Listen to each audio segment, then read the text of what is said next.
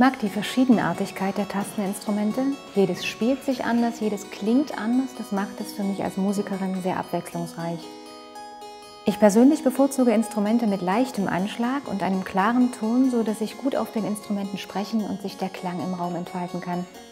Mit Sprechen meine ich, dem Zuhörer die Musik auf klare, verständliche Weise nahezubringen. Mein Name ist Cornelia Osterwald. Ich bin Dozentin für historische Tasteninstrumente und Konzertmusikerin. Häufig trete ich auch hier im Sommersaal auf. Der Sommersaal gehört zum Bach-Museum Leipzig.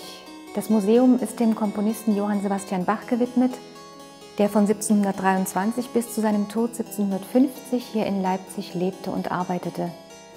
Die Familie Bach war eng befreundet mit Familie Bose, das waren reiche Kaufleute, denen gehörte dieses Haus und sie haben diesen Raum hier extra eingerichtet zum Feiern von Festen.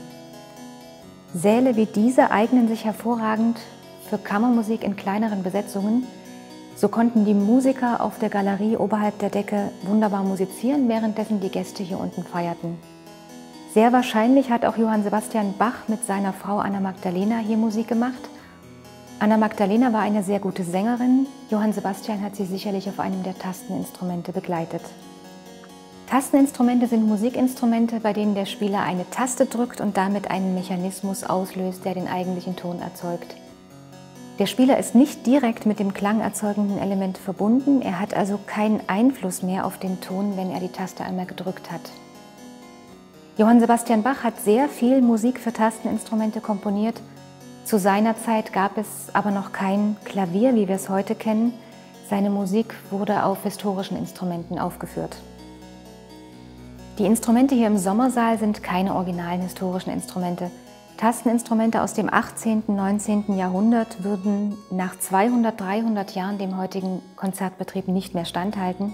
Sie wären zu empfindlich. In den allermeisten Fällen spielt man auf Nachbauten historischer Vorbilder. Diese sind wiederum in Spielweise und Klang Einzelstücke. Drei dieser Instrumente möchte ich nun vorstellen.